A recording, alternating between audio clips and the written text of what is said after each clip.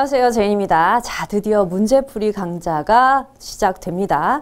여러분들과 공부하기에 앞서서 이 오리엔테이션을 통해서 여러분들과 어떤 것을 공부하게 될지 그리고 어떻게 공부하면 과연 효율적인지에 대한 얘기를 해보려고 합니다.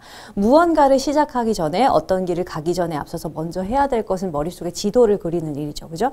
그래야 내가 가는 방향이 맞은, 맞는지도 확인을 할 수가 있고 옳은 방향으로 계속 나아갈 수 있으니까요. 중간에 길을 잃지 않기 위해서 여러분들과 함께 이 오리엔테이션 시간을 차근히 준비해 보도록 하겠습니다. 자, 지금부터 어떤 과정을 우리가 밟아오고 있는지에 대한 지도를 잠깐 볼까요? 자, 저기 앞에 스텝 1부터 시작하신 분들도 있으실 거고 스텝 2에서 오신 분들도 있으실 거고 아니면 다음 스텝을 거치고 오신 분들도 계실 거예요. 자, 각각의 특징은 각각의 OT에서 제가 말씀드렸으니까 오늘은 요 얘기를 좀 많이 하도록 하죠. 자, 드디어 우리가 완성 단계에 왔습니다. 이전까지, 앞에까지는 우리가 인풋해서 정보를 집어넣는 것이었다면 이제부터는 정보를 꺼내서 정돈을 하고 이것들을 통해서 실전 문제 대비하는 코스를 할 건데 이게 바로 문제풀이 즉 아웃풋하는 건 문제풀이라고 보시면 됩니다. 이 문제풀이 과정이 있어야 아 내가 어떤 문제를 풀게 될 것이구나 또 이런 문제가 나면 아 이렇게 대비를 하면 되는구나 라는 걸 알게 되실 거고 그래야 여러분들이 실제로 시험장에서 문제를 풀 내공이 쌓이게 되겠죠. 그래서 이 완성편 문제풀이 편은요 여러분의 지금부터 실전 내공을 쌓는 것이다 이렇게 생각하시면 됩니다. 자, 그러면 여기에서 이제 우리가 시작을 하게 될 것인데 어떤 것들을 공부를 하게 될지 볼까요? 자, 크게 두 부분으로 나눌 수가 있어요. 첫 번째 부분, 우본에서 발표한 겁니다. 이제 앞으로 어떻게 시험 문제를 내겠습니다. 라고 했냐 하면 계리 직무를 반영한 생활 영어를 기반으로 내겠습니다. 라고 처음에 얘기를 했고요. 그 다음에 수거형, 대화형, 독해형 문제를 낼 거예요. 라고 하면서 예시를 줬죠. 그거에 대한 겁니다. 그러니까 이 부분은 뭐예요?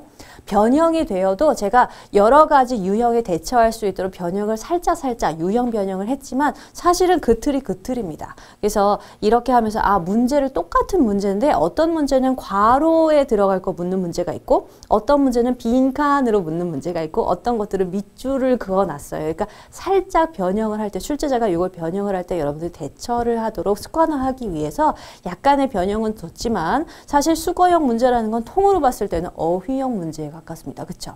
어휘를 잘 알면 그러니까 단어나 수거형에서 나오는 문제가 바로 여기 있는 거예요. 이 수거형 문제로 나올 수 있는 유형은요. 유의어를 찾는 거. 그러니까 괄호나 빈칸 안에 들어갈 것으로 가장 적절한 것은 이렇게 물으면 문맥을 읽어서 또 해석도 주게 되어 있잖아요. 그거에 맞는 단어를 찾아 넣으면 돼요. 그런데 들어갈 수 없는 것은 이렇게 물으면 보기 네 개 중에서 들어갈 수 없는 게 하나 정답일 거니까 나머지 세 개는 뭐예요? 유의어입니다. 문제를 풀면 제가 좀 자세히 설명을 드리겠지만 이 유의어라는 것이 정확하게 꼭 맞아 떨어지는 단어가 있지만 그렇지 않은 경우도 있어요. 이럴 경우에는 문맥에 맞춰서 아 이건 들어갈 수가 있는데 얘는 들어갈 수가 없습니다. 이런 것들을 여러분들이 정리를 하셨어야 되거든요. 자 이걸 관용 표현이라고 해서 여러분들과 함께 기본 서 센터에서 공부를 하고 왔지만 사실은 그렇게 그냥 암기만 하고 오셨으면은 사실은 이게 정말 맞는 건지 아니면 어떻게 풀어야 될지 아직 헷갈리실 수가 있습니다. 그래서 문제를 통해서 이런 것들 대비하는 과정을 여기서 하게 되실 거예요. 자, 문제를 보면요. 유의어 찾는 문제, 괄호형, 빈칸형 혹은 밑줄형 같은 것들이 이 수거형 문제에 해당이 될 겁니다. 나올 수 있는 수거형 문제에 유형이 이런 것이 있다라는 설명을 제가 지금 드리는 겁니다. 자, 그 다음에 대화형 문제요. 대화형 문제는 주로 이렇게 출제가 되죠. A하고 B하고 대화를 나눠요. 그러면 어떤 문제의 경우에는 이게 보통 생활 영어거든요.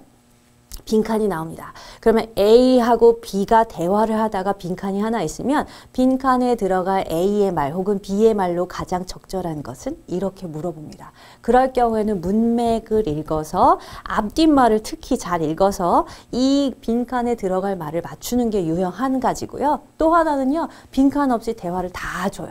그러면 이 대화를 다 읽고 나서 실제로 질문을 하는데 그 질문에 맞는 정답을 고르는 거. 그럼 그 질문은 보통 뭘 하느냐 자, 두 사람이 대화를 하는 내용에 대해서 묻게 되겠죠. 어, 조금 독해형으로 이제 접목을 시켜본다면 일치, 불일치 같은 것도 낼 수는 있습니다. 그러나 대부분의 문제가 어떤 식이냐면 A가 A 같은 혹은 B가 이러한 행동을 한 원인은 무엇인가? 아니면 이 뒤에 이어질 B의 행동으로 알맞은 것은 무엇인가? 이런 식으로 해서 전체의 맥락을 잇는 문제가 대화형으로 주로 출제가 됩니다. 그래서 그러한 문제들을 여러분들이 학습하게 되실 거고요. 그래서 직무 상담하는 상황, 왜냐하면 계리 직무 100% 반영을 했으니까 직무 상담에 관한 것들, 문제를 해결하는 과정에서 오가는 대화들, 그리고 상황을 쭉 파악하게 되면 직무 환경에 서 어떤 대화가 오가는데 그 상황에 따라서 원인이나 결과를 파악하는 하는 것 아니면 다음에 나올 행동을 유추하는 것 이런 것들이 주로 출제가 될 거라서 이런 것들을 연습하게끔 만들어 놨습니다. 이게 대화형 문제고요. 그 다음에 독해형 문제가 있어요. 독해형 지문은 계리 직무를 반영한 독해형 지문이라고 하면 우편, 금융, 보험일 거 아닙니까? 그런데 사실 이런 지문들은 굉장히 생소하실 거예요. 그동안 많이 접해보지 않은 것들인데 계리직에서 처음 이렇게 등장을 하는 겁니다. 그렇죠? 자 그렇다 보니까 마냥 쉽지만은 않은 지문들입니다. 문제 자체는 사실 그렇게 어렵지 않을 수 있어요. 그러니까 어, 주로 나올 만한 어, 5번에서 예시 줄 때 서신형 문제 났거든요. 있거든요. 그러니까 글의 목적이 무엇인지 이렇게 묻는 것들, 편지 글의 목적이 무엇인가 이렇게 문제 자체는 어렵지 않을 수 있는데 지문이 우리가 익숙하지 않은 지문이라서 조금 힘드실 수도 있습니다.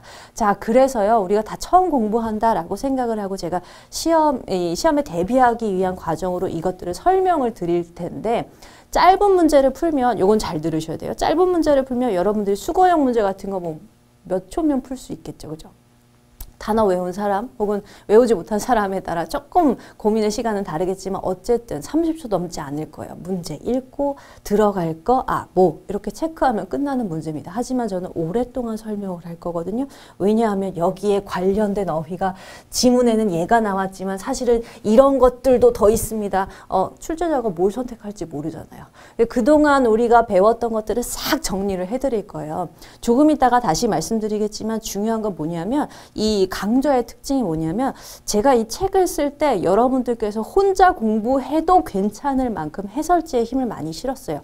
단어도 많이 실어 놓고요. 그래서 단어하고 해설지하고 또 이 전략 같은 것들도 전부 다 적어 놔서 문제 풀고 해설지 읽으면 아마 거의 다 이해되실 겁니다. 그러면 이 강의의 쓸모는 어디에서 있느냐. 강사가 여러분들께 설명을 해 드릴 때는 사실 다 보고 알 수 있는 거면 강의를 들을 필요가 없다고 저는 생각해요. 그래서 이 강좌에서 여러분들께는 자투리 시간을 이용해서 강의만 봐도 될 정도로 혹은 더 궁금한 것이 해소되거나 배경적인 것들도 더 많이 알려드리고 그동안 우리가 공부했던 것들을 쫙 정리할 수 있는 마지막 기회라고 생각을 하고 이 시간에 최대한 많은 것들을 정리해 드릴 거예요. 문제를 통해서. 아, 이런 문제가 나왔으니까 이렇게 풀어야 되고요. 관련 지식들은 어디에 있고요. 우리가 어떻게 배웠었습니다. 라는 것까지 설명을 드릴 거라 거라서 그래서 이미 공부를 많이 하고 있고 전부 다 마스터하고 계신 분이라면 강의는 시시할 수도 있어요. 그럴 경우에는 또 어떻게 공부를 하면 되느냐 조금 이따 말씀드릴게요.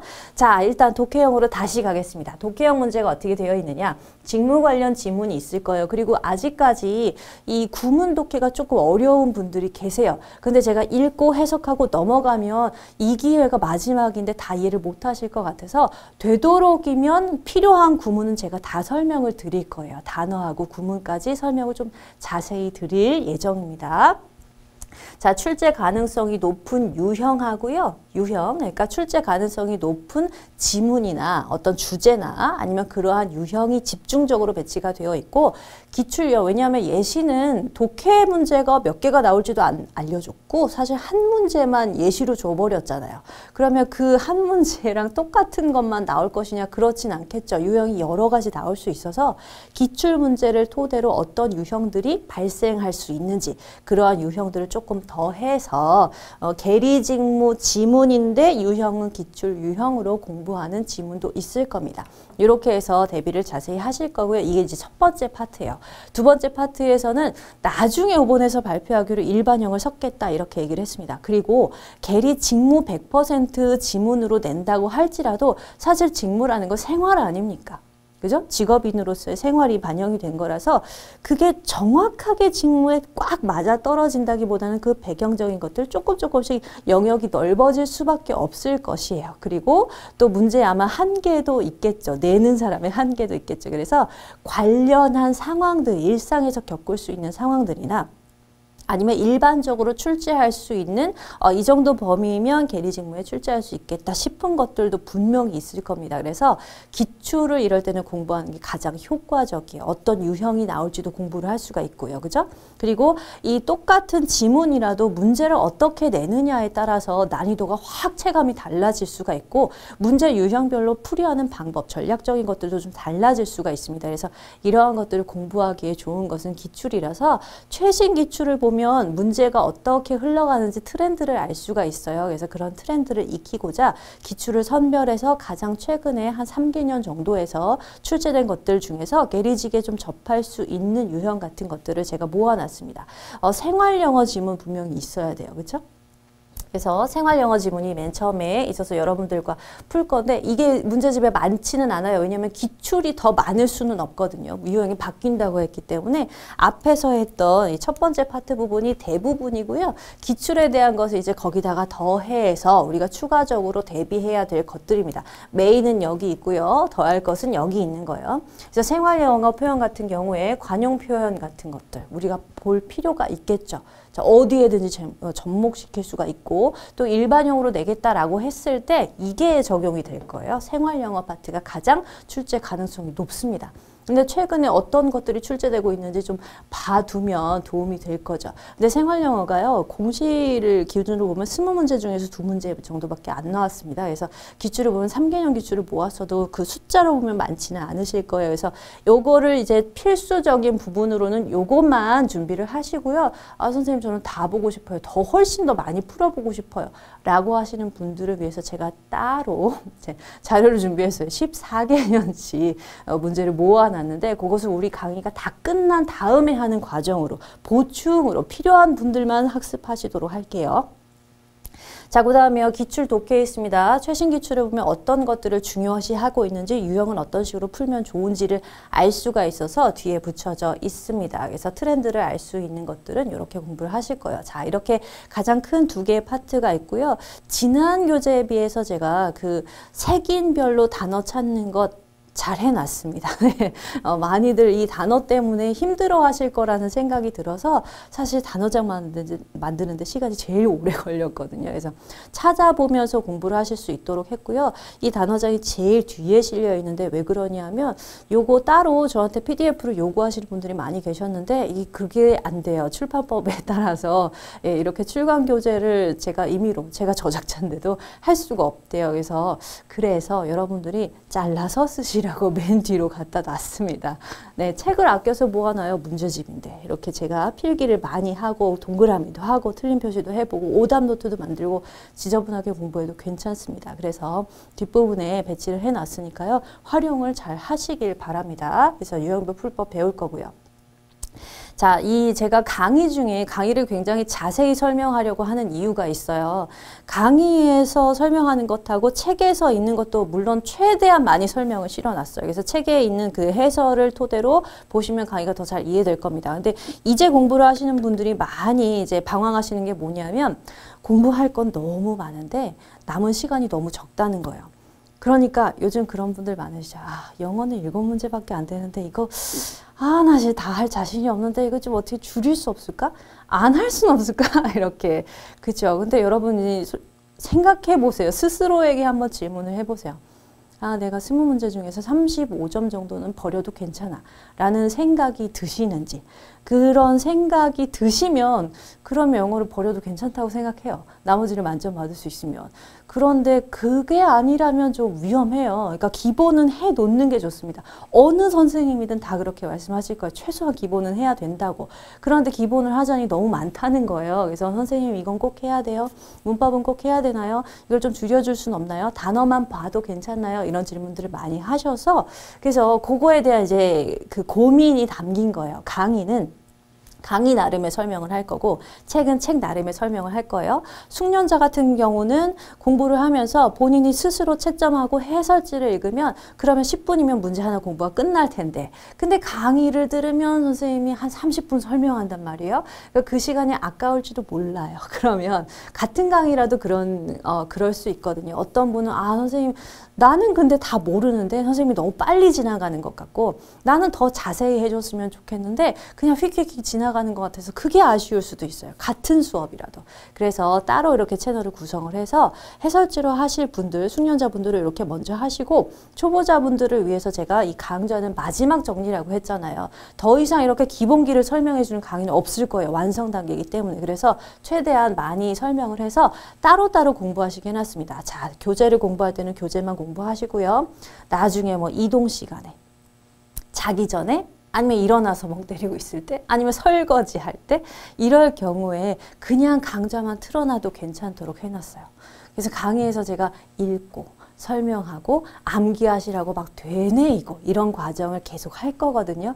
그래서 틀어만 놓고서도 복습이 어느 정도는 가능하게끔 해놨으니까요. 이걸 따로따로 채널로 활용을 하시면 좋겠습니다. 그래서 자 여러분들 책을 보시면 아마 감이 오실 거예요. 자 그러면 이제 나는 완전히 영어 초보예요 하는 분들과 나는 좀 공부를 해왔습니다 라는 분들이 공부하는 목표도 목표 점수도 다를 것이고 공부하는 과정도 분명히 다르겠죠. 공부라는 것은 스스로에게 맞춰야 됩니다. 강의는 사실 기성품이거든요. 기성품이니까 평균에 맞춰줄 수밖에 없잖아요. 그럴 경우에는 이걸 내가 나한테 맞게 활용을 10분 하는 것이 제일 중요하거든요. 그래서 그러한 과정을 좀 설명을 드릴게요. 자, 초보자분들이 있어요. 초보자분들. 그러면 이제는 시간이 별로 없어서 다른 과목 공부할 때 시간 많이 쓰실 거예요. 그러면 또 영어를 아예 안 하자니 너무 불안해요. 그쵸? 어, 떻게 하면 되느냐? 한강 분량씩 하세요. 수거형 문제는요. 한 강에 대략 20문제 정도 넣을 거고요. 대화형이나 독해형 문장은 한 강에 대략 10문제 전후로 들어갈 거예요. 그러면 요 정도로 강의를 보시니까 이분들이 강의를 보실 거니까 아, 전 강의는 몇 번에서 끝났지. 요게 이제 보이시 주실 겁니다. 요거에 맞춰서 한강 분량 정도씩 천천히 푸세요. 요게 중요한데요. 시간 제한 없어요. 왜냐하면 공부를 할 때 이제 완성 단계니까 아 양치기를 해야 돼 그리고 뭐 시간을 정해놓고 빨리빨리 푸는 연습을 해야 돼 이렇게 하시는데요 그건 모의고사에 하세요 지금은 문제를 보고 어떤 문제가 나올지 문제 분석을 하는 단계예요. 그래야지 완전히 내 거가 되는 거지 급하게 막 풀면 잘 몰라도 정답이 될 수도 있고 아니면 정답이 안 될 수도 있겠죠. 이걸 내가 진짜로 아는 건지 모르는 건지 정리가 안 돼요. 내가 모르는 것도 알고 있어야 되고 내가 이걸 모르는구나 라는 사실을 아니면 아는 것은 아 이렇게도 정리할 수 있구나 방향을 바꿔서 복습할 수도 있는 건데 그 과정이 급하게 풀면 안 됩니다. 그래서 시간 제한 없이 차분히 문제를 분석하면서 풀어 나가세요. 그랬을 때 첫 번째 하실 부분 이게 1차 공부입니다. 총 세 번 정도 반복을 하는 효과를 얻으실 건데 이렇게 해서 시간 제한 없이 문제를 푼 다음에 답안지 보시고 해설도 확인하면서 스스로 한번 점검을 해보는 겁니다. 답안을 보면 이제 단어도 보일 거잖아요. 어 나는 단어를 이런 것들을 몰랐구나. 근데 이거는 정말 유형에 나올 것 같은 거니까 이 정도는 외우자. 이런 것들도 보이실 거고요. 자 해설 확인하시고요. 그 다음에 강의로 보충을 하는 거예요. 강의 시간에는 제가 여러 가지 필기도 많이 해드릴 거고 또 이 보충 설명도 많이 해드릴 거예요. 그러면 보면서 아 그런 문제였구나 끄덕끄덕 하실 수가 있겠죠. 필요한 부분들은 필기하셔야 되겠죠. 그러면 기본서에다가 단권화 만들 수 있는 자료도 여기서 나오는 거예요. 중요한 거 이제 오답 노트 만드시는 거예요. 내가 어떤 문제를 잘 모르고 어떤 문제가 나오면 틀릴 확률이 있는지를 정리해 놓으면 그게 나중에 여러분들의 전략 노트가 됩니다. 그래서 오답 노트 만드는 것까지 요게 2차 공부예요. 그러면 오답 노트를 만들어서 오답 분량 그리고 노트 필기한 거 여기서 필기 나오죠. 요거 모아서 다시금 풀이를 하시는 거예요. 틀린 문제만 다시 보는 것이죠. 물론 잘 풀었지만 애매했던 것들 혹은 내가 잘 맞추긴 맞췄는데 아 요거는 조금 더 정보가 좀 부족했어 라는 것들 이런 것들 체크해서 모아두세요. 그걸 따로 마지막으로 이제 마무리하는 3차 공부가 있는 거예요. 그죠? 이런 것을 파트별로 끊어서 하세요. 수거형 한 번 해서 이렇게 한 바퀴 돌고 독해형 한 바퀴 돌고 그리고 이 중간에 대화형 한 번 돌고 이런 식으로 해서 파트별로 끊어서 공부를 하시는 겁니다. 이렇게 완성이 다 되고 나면 그때쯤 제가 봄에 여러분들께 이제 보충 자료 계속 드릴 거예요. 자, 이게 영어가 여기서 끝은 아닙니다. 그래서 어, 물론 필수 과정은 끝이에요. 그런데 필수 과정은 끝이지만 제가 또 가만히 있는 성격이 아니지 않습니까? 여러분들이 아 이거 좀 아쉬울 것 같은데 하는 것들을 이미 준비하고 있어요. 그래서 특강도 올라올 것이고 자료도 올라올 거라서 그런 것들을 계속해서 적극적으로 활용을 하면서 본인이 아는 것을 계속 더하세요. 우리 문제집에 있는 문제하고 그리고 제가 기내식 학습지라고 해서 학습지 들이죠. 그것도 총 모으면 대략 200문제 정도가 될 거예요. 문제집 한 권 분량이 될 겁니다. 모의고사 문제도 나올 거죠. 모의고사도 지금 뭐 몇 회가 쌓이니까 그것도 수십 문제가 될 거예요. 다 합치면 몇백 문제를 풀게 되시는 겁니다. 그렇게 준비를 하게 되면 진정한 양치기가 되는 거 아니겠습니까? 자, 그래서 이렇게 활용을 하실 수 있을 거예요. 자, 그럼 이제 숙련자분들은 어떻게 하실 거냐? 숙련자는 제가 뭘 해놨어요? 시간을 제한해서 풀어보시라고요. 이미 다 아는 내용이고 나도 어느 정도 설명을 할 수 있을 정도로 아셨다면 그러면 이제 더 나아간 연습을 해야 되겠죠? 자, 1강 과정씩 끊어봐서 시간을 재해서 푸시는데 시간을 얼마 정도 하면 되느냐? 수거형 문제는 길면 30초예요. 30초. 그리고 대화형 문제는 1분 정도, 독해형 문제는 2분 정도를 기준으로 잡는 겁니다. 그래서 7문제를 다 푸는데 10분 정도 할애할 수 있으면 그럼 되게 이상적이에요. 10분 조금 넘어도 되지만 일단 연습을 할 때는 10분 정도로 놓고 풀어보자고요. 자, 이렇게 해서 시간을 제한해서 풀면요. 그러면 내가 시간 제한에 걸리니까 실수를 할 수도 있어요. 그 실수들을 모아보면 내가 어떤 부분이 약한지 내 약점 파악이 되겠죠. 그래서 이러한 것들로 대비를 하실 수 있도록 1차에서는 시간 제한해서 문제를 먼저 풀어보시고요. 그리고 사실은 해설지로 충분하게 오답 정리도 하실 거고 스스로 단어 암기도 하실 수 있습니다. 그런데 어떤 문제는 내가 애매해서 조금 더 듣고 싶다. 아니면 선생님은 나는 이렇게 풀었는데 선생님은 어떻게 설명하는지 궁금하다 하면 그거 찾아서 들으시면 돼요. 그럼 시간 절약이 되겠죠. 그래서 그런 부분만 오답 위주의 강의로 찾아보시면 됩니다. 자, 이렇게 찾는 것은 뭐 1강씩 분량씩이니까 그 분량에 찾아서 가시면 아마 위에 몇 번, 몇 번 제가 번호를 다 연속으로 해놨기 때문에 번호만 가서 이렇게 찾아보실 수 있으세요. 이런 식으로 해서 공부를 두 번째로 하시면 되고요. 나머지 자투리 시간 있잖아요. 내가 공부에 완전히 집중을 할 수 없는 책상에 앉아 있지 못하는 시간에도 공부를 하고 싶으실 수 있어요. 이러한 시간들을 활용 활용하실 수 있도록 강의가 있는 거니까 이러한 시간에 영상 강의를 활용하시는 겁니다. 영상이 없어도 스스로 이만큼 정리가 되셨으면 어느 정도 되실 건데 그런데 그래도 이러한 시간을 활용해서 좀 더 꼼꼼하게 볼 수 있는 계기가 되겠죠. 자, 요렇게 하고 한 권이 다 끝나고 나면 마지막 점검하면서 휘리리 휘리리 이제 풀어보시는 거예요. 틀렸던 거 다시 보고 그죠? 아 이런 문제가 있었지 이런 유형이 있다고 했었지 라면서 점검을 하면서 마지막 한 권 마무리하시면 됩니다. 자, 이렇게 수준별로 공부를 하는 방법을 좀 알려드렸어요. 자, 이제 중요한 어, 주의사항입니다. 당부드릴 게 뭐냐면요. 빨리 푸는 것보다요. 이 시간에 중요한 거는요. 문제를 확실하게 푸는 거예요. 확실하게 푸는 거. 자꾸 이제 막 양치기에 대한 얘기를 하면서 문제를 많이 풀어야 된다고 하면서 화라락 풀어가시는 분들이 있는데 그건요 모의고사에 하셔도 충분합니다. 지금은 우리가 유형이 바뀌었잖아요. 새롭게 나오는 것들이 그리고 지문도 이런 식으로 나올지 이게 새롭게 만들어진 거라서 그동안 기출도 없어요. 되게 소중한 지문이거든요. 이러한 것들을 보면서 찬찬히 어떤 식으로 나올지 내가 굉장히 익숙해져야 되고 분석도 해야 되는 거예요. 그래서 빨리 하는 게 중요하지 않습니다. 이 시간에는 정확하게 확실하게 여러분들의 내공을 쌓을 수 있는 게 중요합니다. 그래서 그렇게 공부를 하셔야 되고 문제풀이를 하면 맞고 틀리는 문제가 나오기 때문에 오답 정리하셔야 돼요. 요게 여러분들의 전략 노트가 됩니다. 나의 강점과 약점을 파악하고 있어야 돼요. 그러면 마지막에 이 과정도 끝나고 여러분 이제 모의고사 풀고 직보하고 이럴 때 제가 뭐라고 할 거냐면 그동안 얘네들 어떻게 활용하면 되는지에 대한 얘기로 드릴 거고 문제를 풀 때 잘하는 거 먼저 풀어야 되는지 짧은 거 먼저 풀어야 되는지 이러한 얘기들도 그때 자세히 드리게 될 거예요. 지금은 일단 학습하는 단계입니다. 그리고 앞으로 나오게 될 부가 자료까지 어, 확인을 하시고 나올 때마다 추가 학습을 하세요. 그러면 너무 부담스럽지 않은 단계에서 영어도 어느 정도 여러분이 만족하는 단계로 올라서실 수가 있을 겁니다. 자, 저와 함께 계속해서 피드백하고 계시죠? 자, 남은 공부도 열심히 하시길 바라고요. 이 문제풀이 강좌를 통해서 여러분들이 그동안 몰랐던 거 확실하게 정리를 하셔서 다음 단계로 쑥 올라가기를 바랍니다. 자, 그럼 저는 강좌에서 뵙도록 하겠습니다. 수고하셨습니다.